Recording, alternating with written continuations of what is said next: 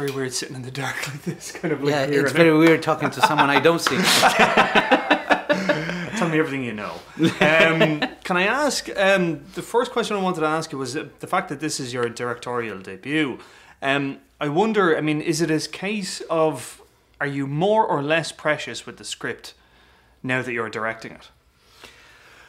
Um, gee, uh, I've I've never been really precious with it. I, the thing is, what I've always done in, in writing is, um, I always say a screenplay is a is a story told with images and sound, Sure. and uh, so I try to put those images in there because some people tend to think that a, a script writer takes care of sort of like the structure of the characters and the dialogue and and the images belong to the realm of, of the director uh, in my case I, I, I don't know how to write a story if i'm not thinking of The visual. the visuals Yeah.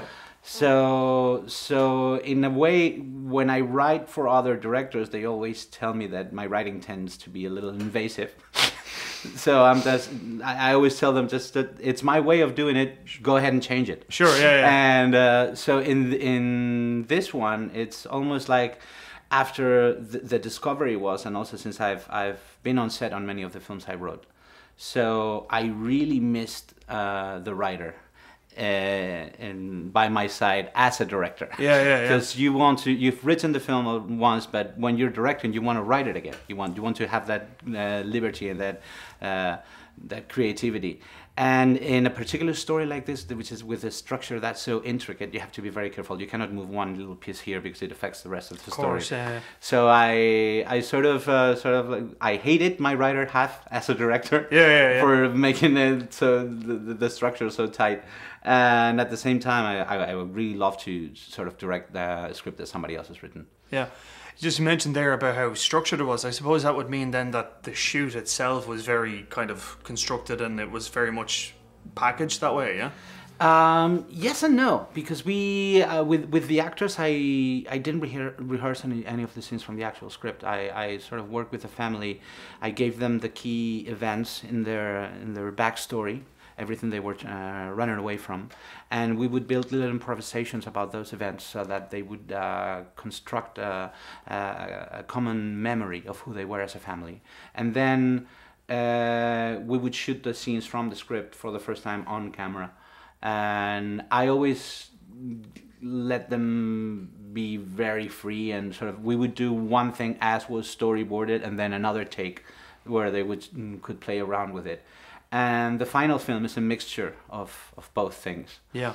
Can I ask about um, on the lead on pre-production? I mean, were there any movies or anything you drew inspiration from to give you a kind of a sense of the visual? Um, not in the preparation. I always, in, fact, when we're preparing a film, I try to to stay away from any references because, and that's that's what people always ask you. It's like, well, that's, uh, what were and uh, if anything, uh, with this, what I did is I, I tried to stay away from any particular films. I with uh, with my production designer and my cinematographer, we looked at the paintings of Andrew Wyeth Right. to sort of get that the, the light and the look and and I would talk about novels or or sometimes music. I would just play music on set uh, to sort of like describe the mood. But I try to stay away from Specific. specific, Yeah. filmic references. Uh, although I, I think it's like again it's it's almost like it was all, all on the page and just like Jack keeps his this notebook uh, I think when we're young, it's like our lives is a blank notebook, and the first things we're exposed to are engraved in there forever. So I Yeah. think the first films that I saw, things like Our Mother's House, The Other, Rosemary's Baby. I mean, all these. Uh, I mean, would you really say uh, Our Mother's House is a horror movie? No, Or- of course. Yeah. uh, Yeah. So where is the limit? And I, I'm, I'm, I'm, those those types of films are like they're the first things I was exposed to, and and it's a type of filmmaking that I miss terribly today. Yeah. So uh, that's why I, I try to make a film that is formally very classic. It, it seems to belong to a different era, but then structurally it's complex enough to be something of our time. Yeah. Um, final question. I mean, do you see yourself? I mean, now that you've directed for the first time, is this something that you want to continue doing, or are you happy to go back into the behind the typewriter? Um, I'd like to do a combination of both, but there's no way. Um, um, I mean, uh, directing is so much fun. Yeah.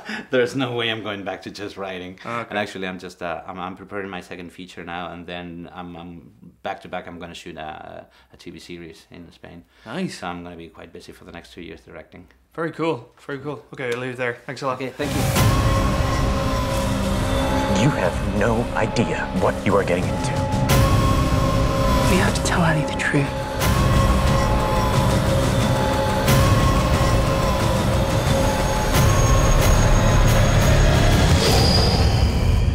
Nothing, no one, ever will separate us.